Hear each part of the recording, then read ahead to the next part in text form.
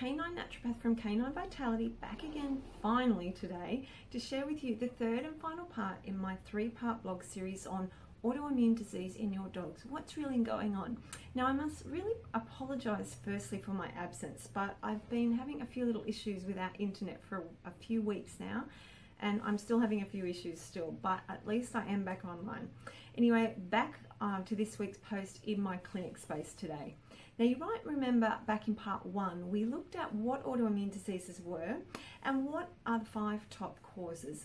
Then in part two, we actually took a look at the five steps to managing or even resolving that autoimmune condition in your dog. Now today, I want to take a look at another five specific supplements that can really help um, any autoimmune disease that's, uh, that maybe your dog's suffering from. Now please note though that this information is very general in nature and it's really important to seek advice from your holistic practitioner before you go commencing with any sort of protocol for an autoimmune disease.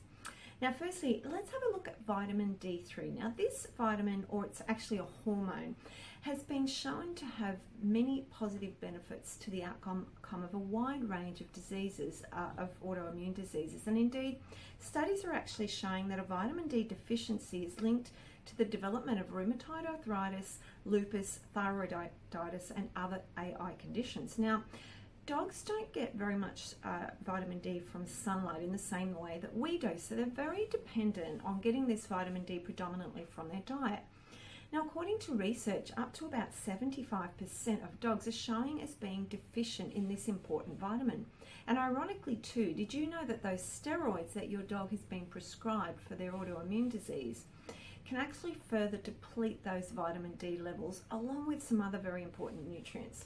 So, how does vitamin D help? Well, it really has many roles in your dog's body, but it has a significant impact on the health of your dog's gut. And we've already seen in the previous blogs how the health of your dog's gut can be a real, a real trigger uh, when it's out of balance for an autoimmune disease pattern. Now, when it comes to vitamin D, it's always best to work with the diet to improve levels, as supplementing without supervision is just not recommended. Now, there are actually two types of vitamin D. There's D2, which comes mainly from plant sources, and there's D3, the more biologically active and the preferred type, and this one comes more from your animal sources like animal fats and organ meats. So, focusing on a raw organic diet that is based around organic meats, bones, and organ uh, meats will actually see your dog getting pretty good levels of this important vitamin. Okay, the second one is selenium. Now, this essential trace element is important for a strong and a balanced immune system, and it's also very beneficial in reducing inflammation in your dog's gut. Now, a selenium deficiency is also shown to alter the balance of the gut, and in addition, selenium also plays a critical role in the production of antioxidants in your dog's body, including major ones like glutathione and some of the other ones, uh, major ones as well. Now, great food sources of selenium include sardines, organic beef, chicken, and turkey, organic beef liver, and eggs. Now, for some dogs, supplementation though will be required. And once again, always be guided through your practitioner in terms of dosage, as high levels of selenium can actually cause toxicity.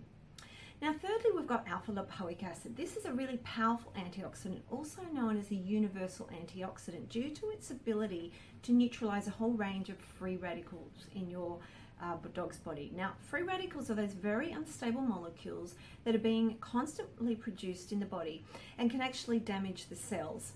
Now, free radicals are linked to the development of all chronic and degenerative conditions, including those autoimmune conditions. Now, alpha lipoic acid can also help modulate the immune response back to a more balanced state, which is what we want. And it also has a very strong anti inflammatory effect. Now, while organic meats and liver in particular are great sources of this antioxidant, for the most part, uh, most dogs will require supplementation to get the best benefit from this one. And remember, also as a general rule, antioxidants are highly beneficial in the treatment of any autoimmune disease.